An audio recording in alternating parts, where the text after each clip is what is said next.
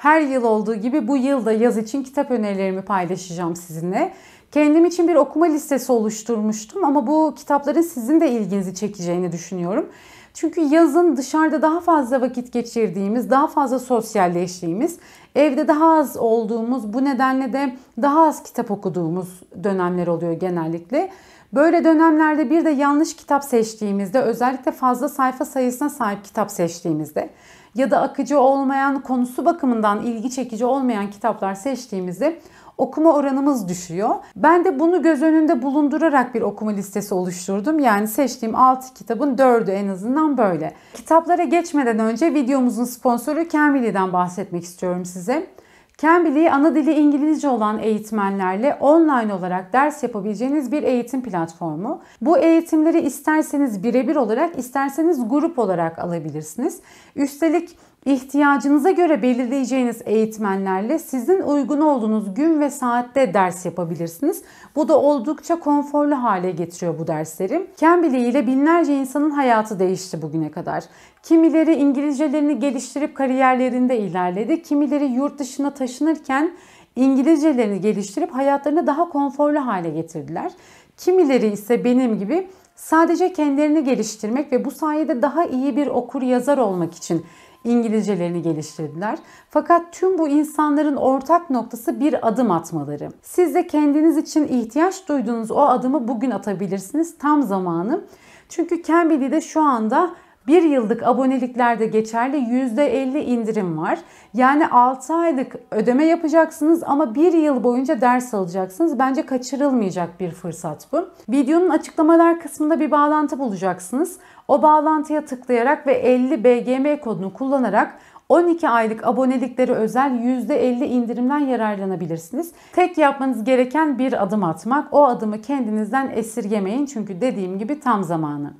Cambly'e videoyu destekledikleri için teşekkür ediyorum ve ilk kitabımla başlıyorum. Yaz için okuma listeme eklediğim ilk kitap İtalyan yazar Sandro Verone'sinin Sinek Kuşu adlı kitabı.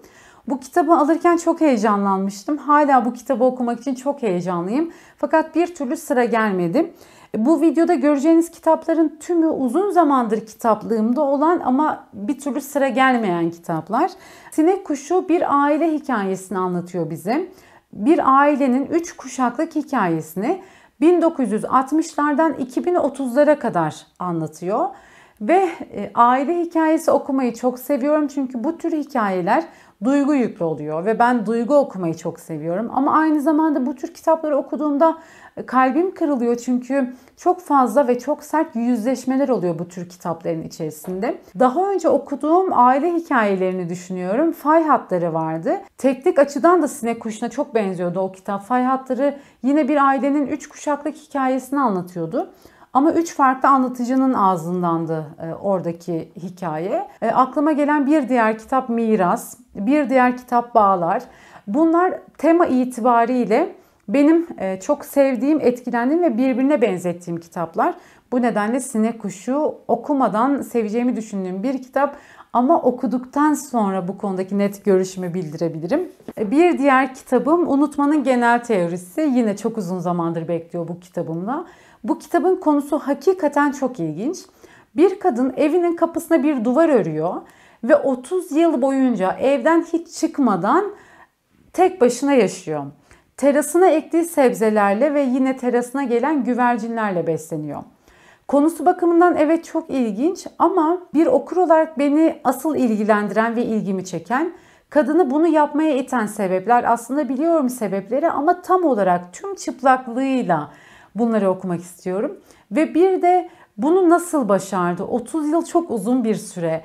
E, insan ilişkileri çünkü çoğu insan için ihtiyaçtır. Birbirimizle konuşmaya, paylaşımda bulunmaya çoğunlukla ihtiyaç duyarız. Bunu yapmadan nasıl mümkün olabildi? Bunu çok merak ediyorum. Yazar bunu bir de iyi anlattıysa, e, anlatımı keyifliyse bu kitap bence benim için unutulmaz bir kitap olabilir. Dediğim gibi yine okuyup bitirdikten sonra bu konudaki fikirlerimi net olarak paylaşabilirim sizinle. Bu yaz okumayı planladığım bir diğer kitabım Anthony Casansros'un Almodovar e, Teoremi adlı kitabı söylememe gerek yok. Yine epeydir kitaplığında bekliyordu bu kitapta.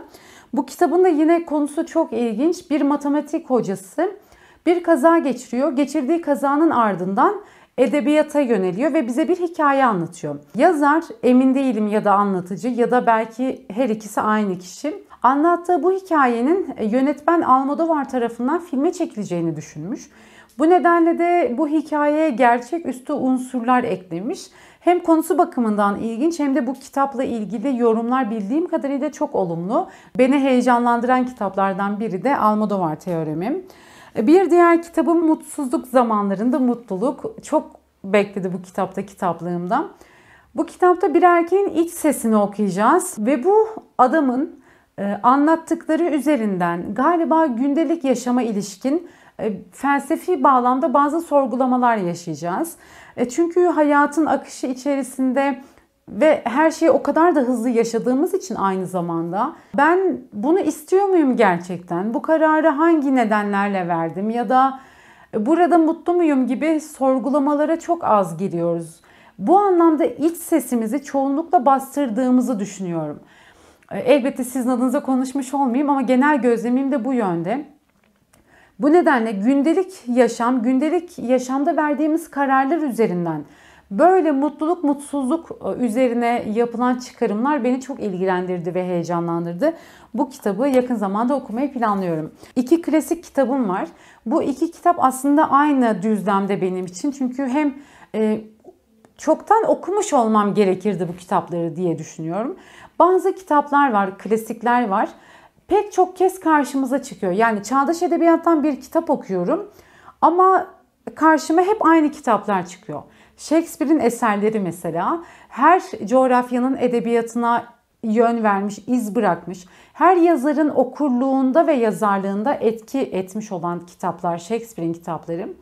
Yine aynı şekilde e, felsefi bir kitap okuyorsak ya da antik çağlara ilişkin bir kitap okuyorsak İlyada ve Odesya hep karşımıza çıkar. Bu kitapları çoktan okumuş olmamız gerekir.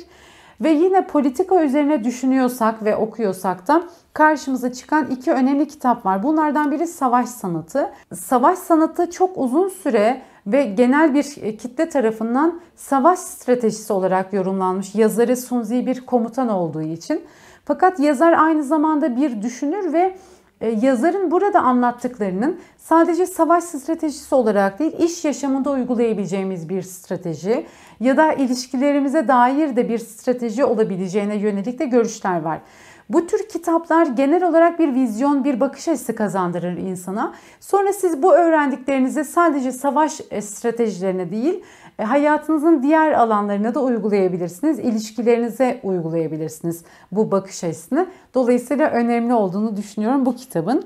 Ve okumayı planladığım bir diğer e, kitapta Machiavelli'nin Prensi ya da diğer çevirilerde kullanılan adıyla Hükümdar. Kitabın yazarı Floransalı bir yazar ve siyaset kurancısı.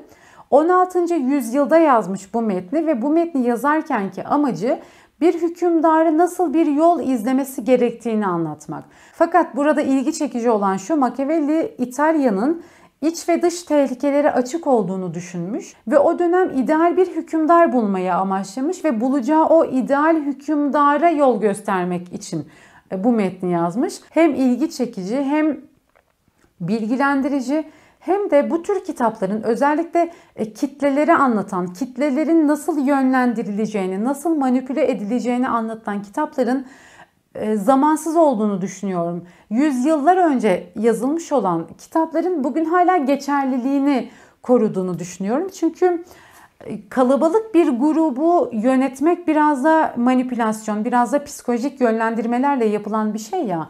E, bunun tekniklerini bilmek galiba yeterli. Politika üzerine okuyacağım ve içinde kitle psikolojisini de barındırdığını düşünüyorum bu kitaplar benim ilgimi çekti. Bu kitaplar arasında okuduğunuz ya da okumayı planladığınız kitaplar varsa lütfen yorumlara yazın.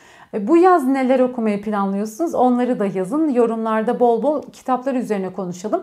Çünkü videolarımı izleyenler sadece benim önerilerimi değil bence sizin yorumlarda yazdığınız kitap adlarına da bakarak bir liste oluşturabiliyorlar. Zaman ayırıp dinlediğiniz için teşekkür ederim. Sonraki videolarda görüşmek üzere.